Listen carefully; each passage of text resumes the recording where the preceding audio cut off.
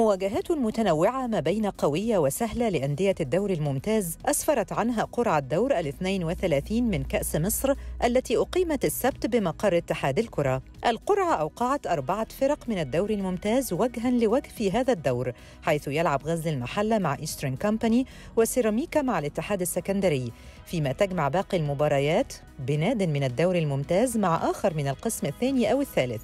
في الوقت الذي يلعب فيه الأهلي مع المصري بالسلوم والزمالك مع الداخلية. تقام مباريات دور ال 32 في الفترة من الحادي عشر وحتى الخامس عشر من مارس المقبل على أن تكون هناك قرعة جديدة عقب انتهاء مباريات هذا الدور لمعرفة مواجهات دور الستة عشر حتى المباراة النهائية على أن يتم إلغاء نظام القرعة الموجهة التي كان يتم اللجوء إليها في النسخ الماضية من المسابقة.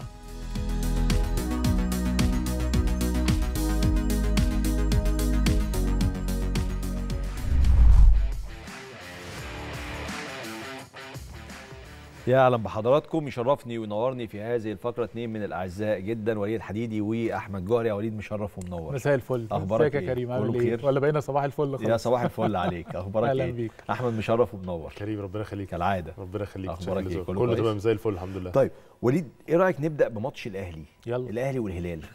الأهلي أنا قلت النهارده في ال intro كده حاجة إنه نفسي أشوف الأهلي زي مانشستر سيتي وباريس سان جيرمان اللي هو نازل بياكل أي خصم.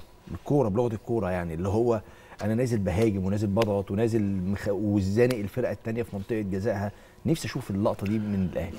الاهلي اتخطف بما حول المباراه يعني آه. إحنا برضو لسه عندنا المشكلة كمصريين ان إحنا بنتاثر بالاجواء مم. وهم جربوا يعملوا ده في السودان في من موسمين فاتوا ونجحت آه ما كانش في جمهور بس ما حول المباراه خلى الاهلي نازل بعيد عن التركيز شوية متخيل انه هيلاقي صعوبات متخيل ان آه، في ازمه في الماتش مع ان الماتش كان سهل جدا الهلال مش فرقه تقيله مم. آه كان سهل ان النادي الاهلي يكسب المباراه لو عنده تارجت الفوز صحيح. أعتقد إن آه، نقطة لو بتتكلم بشكل عام وسريعا هي نقطة مفيدة للنادي الأهلي لكن كان بالإمكان أفضل مما كان بكل تأكيد. طيب أحمد رأيك إيه في اللي حصل في مباراة الأهلي والهلال الأهلي؟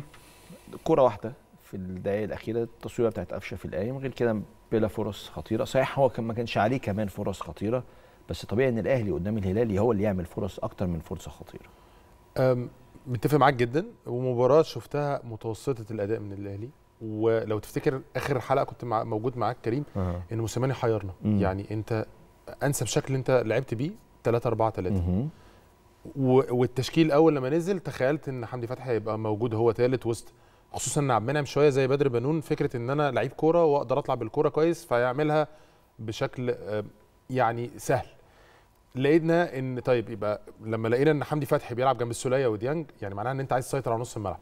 كان أنا في برضو رقم كده وقفت عنده. وكان بالنسبة لي أنا شفت إن موسيماني أنت عايز تعمل حاجة بس ما حصلتش. يمكن إحنا لو هنعرضه إن الكور الاستخلاص ال- ال- اللي قدروا الثلاثي بتاع وسط الملعب إن هم ياخدوها هي دي اللي عملت المشكلة إن الاستحواذ. أنت أول كلام قلته إيه؟ ال upper hand مع مين؟ مع المفروض تبقى مع النادي الأهلي. صح. ده ما شفناهوش. العكس هو اللي حصل. إن لا 50 طبعاً. 50 أب- بنتكلم مثلا على آه، هنا ال- total ياسر إبراهيم آه، آه، علي معلول أكتر لعيبة هي قطعت الكورة. تعال بقى بص على نص الملعب. أنت بتتكلم حمدي فتحي؟ سبع كرات بس. ديانج ست كرات عمرو السولية أربع كرات. الثلاثي ده الطبيعي إن هما الاثنين يبقوا معديين الرقم 25 كورة لو أنا عايز أستحوذ سواء بقى كورة تانية أو إن أنا أقطع كرات. لكن الرقم ده يدل على إن يعني الأرقام كلها اللي هي عالية عند مين؟ عند ياسر إبراهيم علي معلول محمد عبد المنعم. مم. وده أصلا ده شغلهم الطبيعي. لكن نص الملعب عملية الكرة الثانية والإفتكاك وده برضو على فكرة لما هنتكلم على الزمالك هتلاقي إن دي كانت مشكلة النهارده وهنتكلم فيها بيها في تفاصيل. فكنت شايف إن ده نقطة كانت مهمة جدا إن خسرت الأهلي السيطرة على نص الملعب خصوصا أنت في المباريات دي تفاصيل صغيرة إن تسيطر على الكرة الثانية عشان لو هتلعب على عملية ترانزيشن وإن أنت تلعب على مرتدة الحاجات دي بتفرق معاك قوي أعتقد السوليه وحمدي فتحي وده خبر قلته النهارده غالبا مش هيبقوا موجودين في مباراة مصر المقاصة يوم الثلاث الاثنين منهكين بدنيا جدا جدا. فأنا أعتقد هيرجع لخطته آه. القديمة اللي هي ثلاثة اللي هيلعب بثلاثه تخيلي ممكن عبد المنعم يلعب له الحتة بتاعت حمدي فتحي اللي ما بين السردباكين ويبقى في قفشة يرجع تاني اللي هو يلعب في الحتة اللي مع ديانج إن هو يلعب زي ما لعب بيه في كأس العالم للأندية قصاد مونتيري. قفشة لما بيلعب 8 بيبقى مفيد؟ هو مع يعني محتاج يطور نفسه في الحتة دي. مشكلته مع كيروش إنه ما بيعرفش يقوم بالواجبات الدفاعية في مركز 8 مم. حتى لما لعب 8 في المباراة الأولى مع مونتيري أدى دوره الهجومي فيها لكن دوره الدفاعي ما كانش واضح. ديانج الحقيقة اتحمل المسؤولية كاملة في آه، خط الوسط. حتى تدخلات قفشة لما كان بيحاول يساعد وكتر خيره آه، كانت تدخلات كلها عنيفة كان ممكن جدا يطرد ال- المباراة دي. للأسف قفشة لحد دلوقتي عنده مشكلة كانت مع كيروش وأصبحت كمان مع مع موسيماني في الطريقة اللي بقى بيلعب بيها موسيماني 3 4 3 أو قفشة دوره 4 مش 3 واضح. آه آه، 4 3 3 أو 3 4 أنا بقولك أو 3 حتى أه. whatever أي طريقة ما فيهاش لاعب 10 مش 4 2 3 1 آه مش 4 2 3 1 قفشه عنده مشكلة فيها.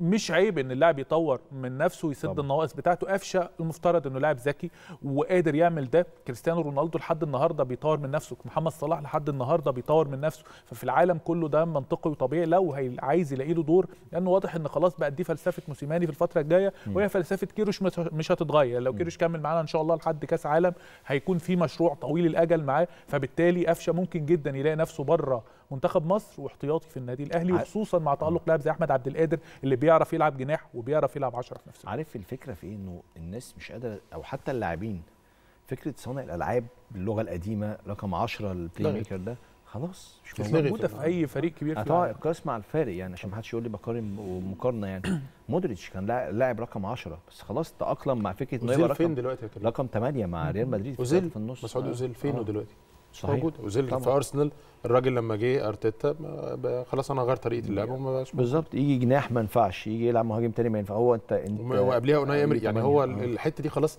نمرة- ما بقاش في حد دلوقتي بيلعب 10 أنت بتبقى معتمد على نمره 8 أكتر. اللي هو لاعب 10 وإيه؟ يعني آه، يعني انت 10 أنت؟ بلاي ميكر وإيه؟ يعني اللي هو فاكر زمان كان يقول لك إيه؟ حازم إمام وليد صلاح الدين.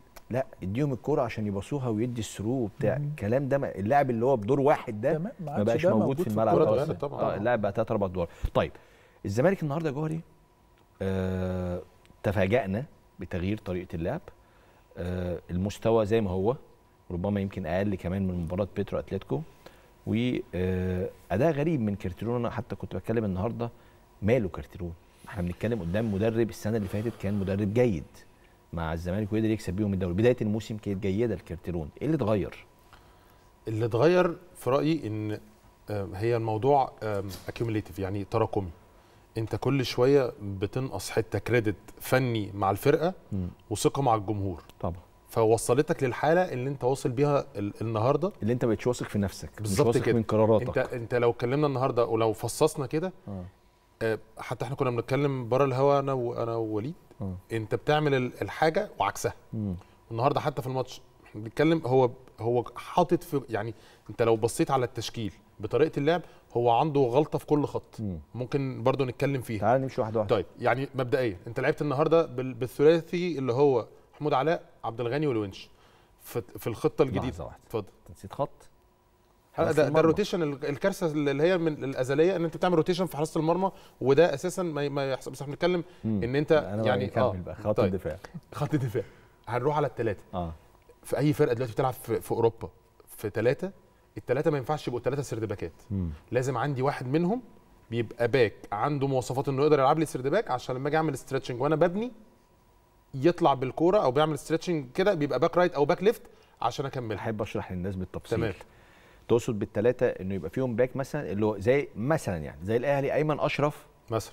ممكن ياخد ال left back أو زي الأيسر لما علي م- معلول يبقى. متقدم. تمام. لكن الثلاثه اللي كانوا موجودين النهارده في الزمالك الثلاثه flat يعني. الثلاثه هم. مدافعين حقيقيين center. backs حقيقيين. ما فيهمش. واحد ينفع يمين يمين أو شمال. تمام. طيب. ف أو إن هلعب بالثلاث سرد باكات بس عندي اثنين منهم الاثنين اللي على الاطراف دول. واحد منهم على الأقل. يكون بيعرف يطلع بالكورة. في عمليه البنى يساعدني والراجل اللي في النص ده يعرف يبنتريت من النص أو إن هو يعمل لي حل بكره طويلة وده ما شفناهوش النهارده. طيب أنا بلعب بالتل... برضو أنا هعرض برضو رقم بالنسبة لي الطبيعي إن الخطة دي ده مع... ده ده ما هو أنا برضو قناعاتي إنك لما تلعب بشكل رقمي هتطبقه إزاي يا كريم؟ دي أهم حاجة. طيب مم. في حتة تانية برضو أنا حابب إن إحنا نعرضها. الطبيعي لما أجي بلعب لأ مش ال- بالبولو أنا عايز أتكلم على فكرة ال crossات. نعرض الأول ال cross. آه. الطبيعي الخطة دي ان أنا المفروض بشتغل من على الاطراف. مظبوط كده؟ أنا مدي حرية للطرفين بتوعي عشان يشتغلوا. طيب آه نجيب ال- اللي هي ال ال ال العرضيات. بص ده العرضيات. مين أكتر لعيب النهارده اشتغل عرضيات؟ شيكابالا آه من ال open play من اللعب المفتوح عمل ثلاث عرضيات.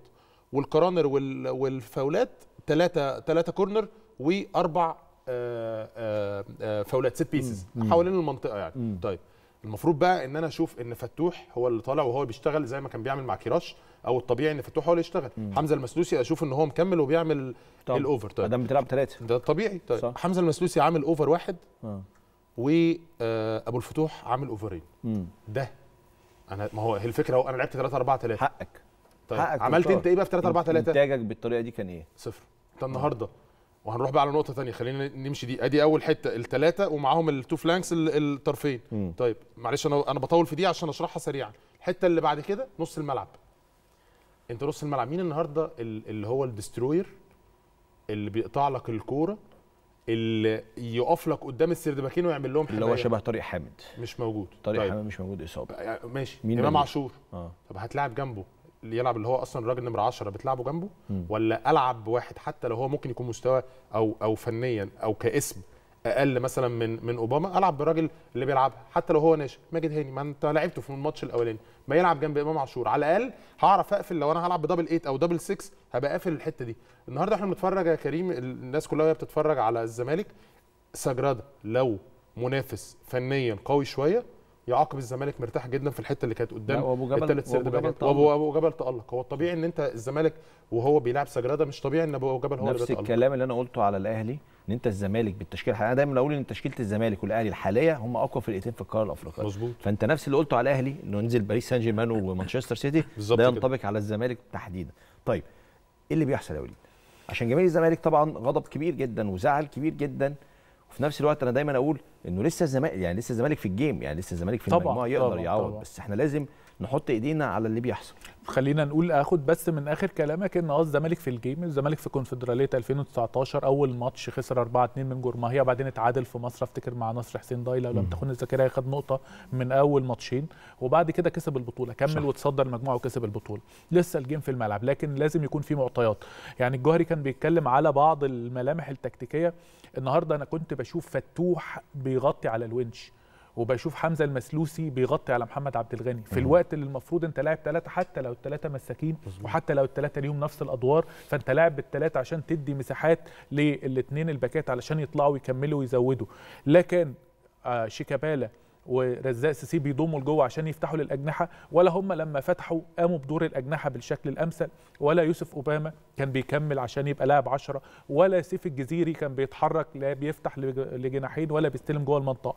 فكأن الموضوع كان فيه ترهل وكل لاعب بيلعب بمزاجه وما كانش فيه فلسفة من المباراة. يعني أنا كنت حاسس إن الزمالك نازل عايز النقطة وده ودي كارثة في حد ذاتها. إيه اللي بيحصل؟ لا يخفى على أحد ونبقى يعني زي النعامة اللي بتحط راسها في الرمل لو مش حاسين إن في مشكلة حاليا بين كارتيرون وإدارة نادي الزمالك. what ماهيه المشكلة دي إيه.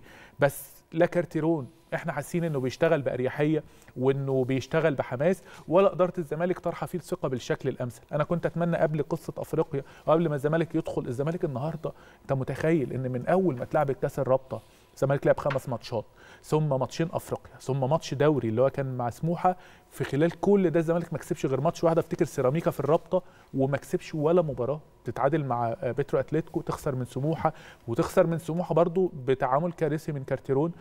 اللي هو بيريح كل الناس طب انت ريحت اشرف بن شرقي في سموحة وخسرت طب النهارده ليه ما تبدأش بيه؟ يعني إيه الداعي إن أنت ما تبدأش باللاعب اللي هو المفروض super star الفريق في غياب زيزو كمان؟ آه، ألغاز كتير إحنا محتاجين نفهمها والزمالك حط نفسه في وضع صعب. أتمنى أنه يتخطاه لأن مباراة الوداد الجاية للأسف قد تكون حياة أو موت لمستقبل الزمالك في البطولة. تكملة كلام وليد أنت آخر ثمان مباريات أنت آه. الزمالك كسب مباراة واحدة. سيراميكا آه، في سيراميكا في تمام الرابطة. مباريات. آه. صحيح. لسه مكملين مع حضراتكم مع وليد الحديدي وأحمد الجوهري بعد هذا الفاصل. نواصل إن شاء الله.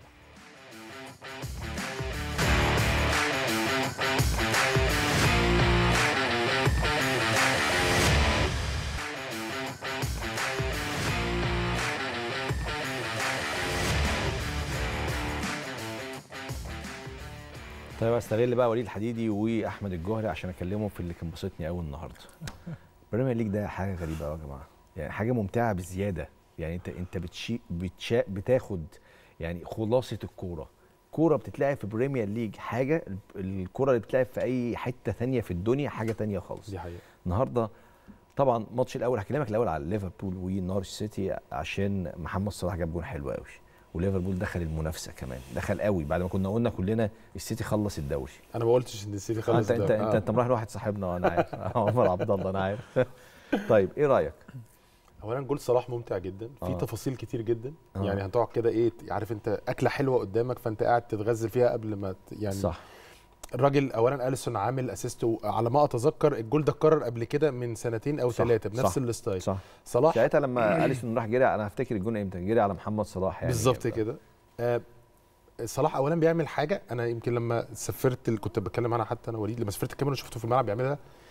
هو بيمتاز طبعا بالسرعة صلاح مم. بس عنده حتة ال feint إن هو هنزل استلم وبعدين باخد في المساحة بيعملها حلو قوي. هو راح عامل ال feint وأليسون شايفه عمل له اللي هي الكرة بتاعت ال ال ال ال آه، حراس دايما ال- ال Latin America بيعملوها اللي هي ال half volley دي واتلعبت له في مساحة وإن أنا اوقف بالطريقة دي والقرارات بتتغير. هو كان عايز يحط لوب وبعدين وقف وإن هو يحطها بالمنظر ده جول ممتع قوي يمكن ماني برضو جاب الحقيقة هدف النهارده ال- الجولين حلوين جدا يعني.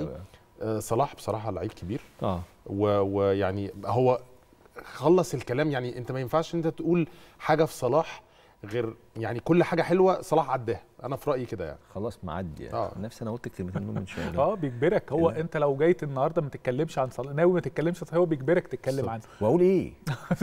أنا زي أنا تهيأ- 150 جون في 233 هقول مباراة. إيه؟ ده النهارده 17 هدف في الدوري. أنا عايز اتكلم إيه؟ ما هسيبك تتكلم. بس. إحنا جيل بعض يعني. إحنا الجيل اللي لما كان عندنا لاعب مصري يسجل هدف أيام هدف الهاردات يا بيه. فاكر؟ آه هدف في الدوري ملخص الأوروبي. لمسات زيدان قدام إف سي آه، ونجيب- كوبنهاجن. ونجيب صورته ونحطها ونجيب التيشيرت ونحطه حاجة في منتهى ميدو راح توتنهام عشنا على عمرو زكي دي يا جماعة. أول في ويجن آه. ده إحنا عشنا في قصة عمرو 10 زكي ده. آه. جاب آه. 10 قلنا ده ميدو بيلعب جنب. مونتيلا. آه، إيه في إيه. آه، وتوتي وبيسلم على توتي وقعد معاه في نفس الأوضة دلوقتي محمد صلاح جايب 150 هدف مع خبر أنا. بقول خبر. محمد صلاح جايب جول. كريم أنت 150 جول مع متضايق إن. لعيب مصري ما خدش ال Ballon d'Or؟ هو إزاي صلاح ما. ياخدش ال Ballon d'Or؟ سقف الطموحات بتاعتنا. هو إحنا كان حد يتخيل إن لعيب مصري ياخد Champions League كلوب آه. امبارح في المؤتمر الصحفي بيقول لك إحنا لسه أول امبارح الراجل جاب 100 جون النهارده بقى من- منتظرين يجيب ال 150 وجاب ال 150 اللي هو محمد صلاح آه، الدنيا كلها بتتكلم. آه يعني أنتوا متخيلين هيجيب ال 150 النهارده بقى ثالث أكتر لاعب في دوري الأبطال يلعب 50 مباراة ويسجل أهداف بعد رونالدو وليفاندوفسكي اللي هو بيوصل بيك لل level أنت ما كنتش متخيله تمام. مستحيل آه. أنا عايز أتكلم عن. ليفربول بما إننا اتكلمنا عن يلا. صلاح يعني عن دياز لويس دياز. مم. والعين إزاي بتختار؟ يعني يورجن كلوب إزاي بتختار؟ وإزاي بيعمل ال- الاضافه لفريقه من منطقة أنت ما كنت ما كانش حد في أوروبا بيتكلم عن لويس دياز تماما. يجي. الراجل ده يحطه لاعب بيلعب جناح بالشكل ده بيقدم مم. الإضافة بيلعب وسط ملعب شمال في وبيعمل penetration واختراق بالشكل ده هو بيلعب يمين وشمال والنهارده بيجيب هدف ف... فأرجع تاني لعين المدرب صح. وإزاي المدرب ب... ب... ب touch واحد منه سواء بصفقة أو ب touch جوه الملعب ب touch فني ممكن يغير كل شيء هو ده. يورجن كلوب لا وتتكلم في إيه؟ أندية العالم دلوقتي بتتخانق على مبابي بتتخانق على هالاند بتتخانق على لعيبة ده راح مكان تاني آه خالص آه ب- ب- يعني معديين ال 100 مليون فاهم هو رايح في حاجة بسيطة كده على قد الإيد وفي نفس الوقت هخليه لكم مبابي وهو لكم عنده ميزة هو يا آه. جماعة هي برضو إحنا ناخد بقى من من كلام وليد حتة آه. الراجل ده عمل من لعيبة كتير جوه ليفربول أسامي كبيرة قوي في كرة القدم. يعني هندرسون ما قبل يورجن كلوب كان. لعيب overrated وإيه يا جماعة ده وما ما أعرفش من الآخر يعني هندرسون كان في, في الكرة الإنجليزية ولعيب على قده جدا. هندرسون النهارده واحد من أهم اللعيبة اللي موجودة في الدوري الإنجليزي. صح. أرنولد أنت أرنولد ده كان أساسا بيلعب في ليفربول كان بيلعب جناح. نفس فكرة حازم إمام الصغير كان بيلعب جناح آه، لعب back right. خلاه واحد من أحسن الباكات right الموجوده روبرتسون واحد من من احسن هو الأحسن. بالظبط كده. فان دايك. فالراجل ده عنده الكو... فابينيو. فابينيو مشي من ريال مدريد جابه وشغله وأنت هتلعب الحتة دي واحد من أحسن ال destroyers اللي موجوده عندك في العالم كله. يمكن كلوب هو نسخة غير غير آه، مثلا جوارديولا. جوارديولا مش هنقول إن هو بيجيب اللعيب لا هو بيجيب لعيب بيطبق الفلسفة بتاعته. لكن كلوب بيعمل لك صح. لعيب. يسمع اللاعب يطبق مباراة. توتنهام ومانشستر سيتي النهارده حلوة. متعة أوي. يعني دي قمة المتعة طبعا. الحمد لله إن هي خلصت كده. أكيد كنا. أنا كنت عايز تخلص أصلا. أنا كنت عايز لا طبعا. لا أنا عايز تكمل بص للصبح أنا بحب ال ال آه. ال الماتشات اللي اللي هو فيه كونتي وفيه جوارديولا فأنت هتتفرج على حاجة. كونتي طبعا بال power وال grinta والقصة دي. النهارده 14 تسديدة للسيتي مقابل سبعة لتوتنهام فتطلع في الآخر 3 2 فكرة إن أنت يبقى عندك مهاجم زي هاري كين فأنت كده وصلت لنص المسافة اللي ممكن تكسب بيها أي مباراة. صح. طبعا ماتش فارق وممكن يكون فارق في مستقبل الدوري الإنجليزي ويا ريت نتفرج على ماتش زي ده كل يوم. يا ريت. ليفربول خلاص دخل المنافسة مرة أخرى. والسيتي السيتي غريب. يعني أصل هو السيتي ده أو جوارديولا حاجة غريبة كده. أنت ممكن تعمل كل حاجة في الكورة وتقفل معاك. يعني النهارده أنا شفت برضو بيب جوارديولا كان بيعمل كل حاجة. يعني هو اللي ماسك الكورة هو اللي بيشتغل بس سون وهاري كين آه هاري كين وسون ثنائية مدهشة. دي حقيقة. آه. بس في حتة برضو الناس بتبقى غافلة عنها شوية كده. هو ال run بتاعت جوارديولا بقالها كتير قوي آه. فطبيعي لازم تقف. مم. ولما هتقف ممكن ياخد كذا ماتش ورا بعض أو ممكن يلحق نفسه. آه. هنا بقى اللي جوارديولا هو اللي هيحسم الأمر ده ال drop اللي هيحصل ده. هيكمل ولا أنت هتلحق نفسك وتكمل ال run اللي أنت كنت بتعملها وتطلع وتطلع تاني؟ هو ده السؤال اللي هيجاوب عليه جوارديولا. جوارديولا عموما بنشوفه لما بيركب بيبقى صعب قوي إن هو يقع. هو مم. على طول هو لما بيتصدر بيبقى بنسبة كبيرة هو اللي بياخد في أي دوري هو كان فيه سواء ألماني أو أسباني أو في الدوري الإنجليزي. طيب أنا فاضل لي دقيقة. أنا إزاي ده لما بلعب بلاي ستيشن بكسب باكتساح. باريس سان جيرمان نازل النهارده بالثلاثي المرعب. نيمار وميسي ومبابي. بيخسر 3-1 من نانت. هو ده بيحصل إزاي؟ وده. غير بقى بين عندهم ورا وفيراتي يعني آه اللي هو full team full يعني team، أنت آه. نازل ب full team فينالدوم وفيراتي وإدريسا آه. جانا جاي وكيمبيمبي ويعني الفرقة كلها نازلة. آه. غريب طبعا هو ده واضح إن هو ال- ال reaction بتاع ماتش ريال مدريد يمكن عملوا جهد كبير. هم ما عادوش مركزين في الدوري بشكل كبير. خلاص هم شبه حسموا يعني. ال league عندهم. لكن باريس سان جيرمان من الفرق اللي ما تطمنكش.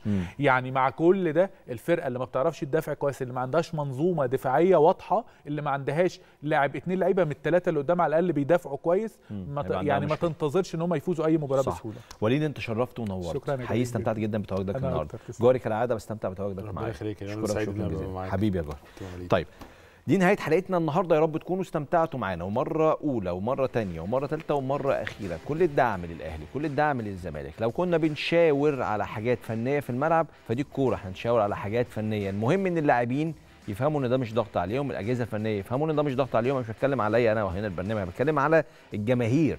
جماهير الأهلي والزمالك لو ضغطوا أو زعلوا من حاجة هم بيتكلموا على حاجات هم فعليا شايفينها وهي حاجات حقيقية. المهم إن اللعيبة تركز والجهاز الفني يركز عشان المشوار لسه قائم والفرقتين إن شاء الله في الدور القادم في دوري أبطال أفريقيا. أشوفكم يا رب على الخير